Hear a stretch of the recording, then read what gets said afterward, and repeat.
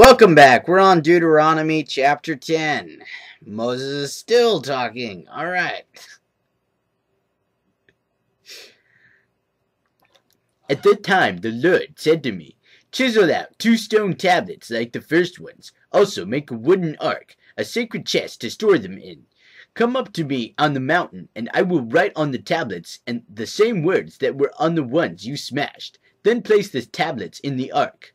So I made an ark of acacia wood and cut two stone tablets like the first two. Then I went up the mountain with the tablets in my hand. Once again the Lord wrote the Ten Commandments on the tablets and gave them to me. They were the same words the Lord had spoken to you from the heart of the fire on the day you were assembled at the foot of the mountain. Then I turned and came down the mountain and placed the tablets in the ark of the covenant, which I had made, just as the Lord commanded me. And the tablets are still there in the ark. The pe- pe- people of Israel set out from the wells of the people of Jaakan and traveled to. Oh, this isn't even Moses talking. This is this is some shit they have in parentheses. All right. The people of Israel set out from the wells of the people of Jaakan and traveled to uh, Moserah, where Aaron died and was buried. His son Eleazar ministered as high priest in in his place. Then they journeyed to uh, Gudgodah, and from there to Jotbathah, a land where many brooks and streams, a land with many brooks and streams. At that time the Lord set apart the tribe of Levi to carry the ark of the Lord's covenant, and to stand before the Lord as his ministers, and to produce and to pronounce blessings in his name. These are their duties to this day. That is why the Levites have no share of property or possession of land among the other Israelite tribes. The Lord Himself is their special possession, as the Lord your God told them. As for me, I stayed on the mountain in the Lord's presence for forty days and nights, as I had done the first time, and once again the Lord listened to my pleas and agreed not to destroy you. Then the Lord said to me, Get up and, and resume the journey, and lead the people to the land I swore to give, give to their ancestors, so they may take possession of it.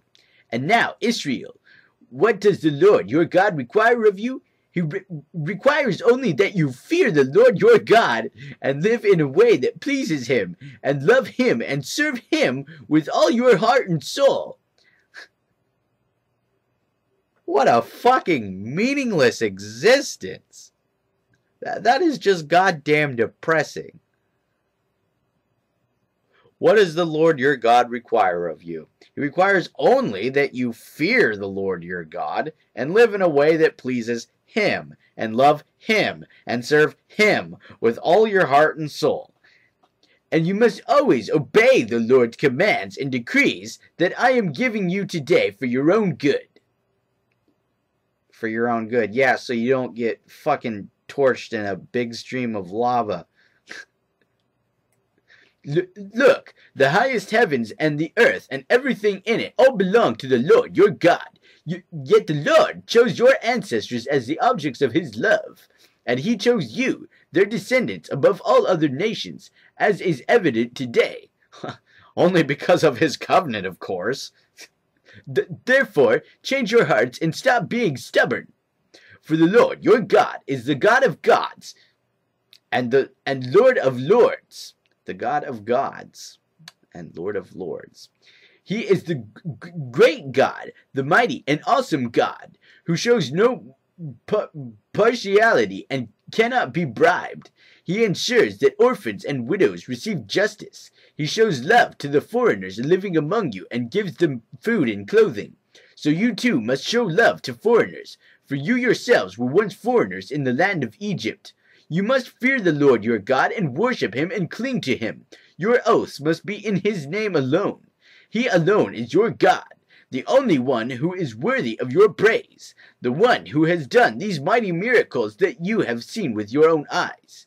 When your ancestors went down into Egypt, there were only seventy of them, but now the Lord your God has made you as numerous as the stars in the sky. All right, well, uh, that is Deuteronomy chapter 10.